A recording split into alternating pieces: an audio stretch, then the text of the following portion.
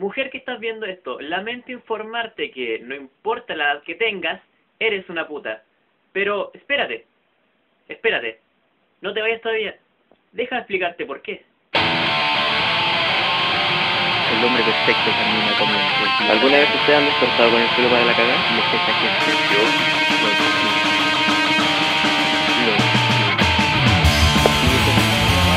no le importa que la gente que está atrás lo miren dice, ¿cómo soy?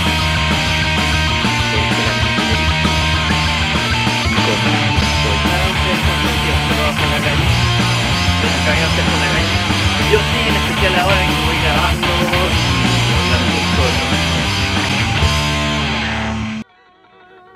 Putas, perras, zorras, maracas, son todos estos tipos de términos que se usan a la mujer que entrega su cuerpo a cambio de dinero, o al menos en Chile.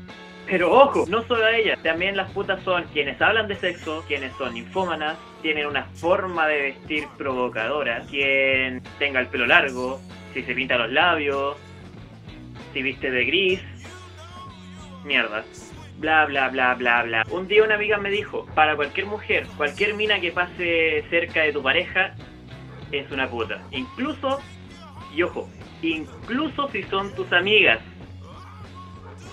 ¿Tus amigas, pues weón? ¡Qué mierda! Con ese tipo de pensamiento, ¿cómo cresta quieren que las respeten, weón? Si ustedes mismas andan tratando hasta a sus propias amigas de puta solamente por acercarse a su pareja.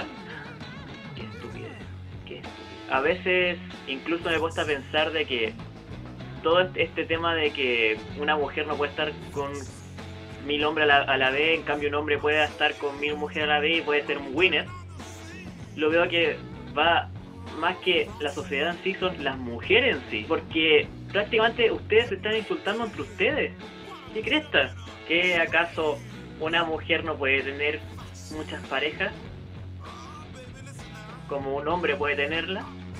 ¿O acaso una mujer por el simple este hecho de ser una señorita no puede hablar de sexo?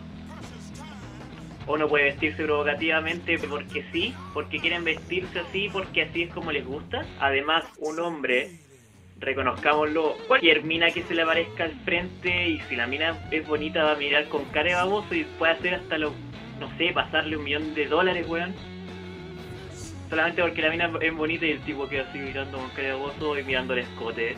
Las mujeres tienen ese poder, un par de pechugas para un hombre tiene ese poder, de que ni siquiera se acuerden cómo cresta se llama. Y hay mujeres que se aprovechan de eso. Que claro, no, no estoy justificando y que sea algo, bueno, pero no por eso la vamos a tratar de putas.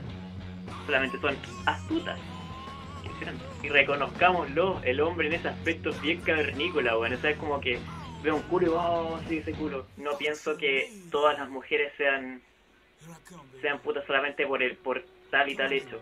Eso sí, hay un, hay un tipo de mujeres que son aquellas mujeres que teniendo una pareja la, la usan y, sin embargo tienen muchas parejas. Y ojo, estoy hablando de parejas serias, o sea que te enamoré a un tipo y estés con otra persona. Y que prácticamente hagas mierda a la persona que es tu pareja. Pero eso no es tanto una prostituta, eso ya es más una mina de mierda. Y hay muchas minas de mierda, reconozcámoslo. Como también hay muchos hombres de mierda.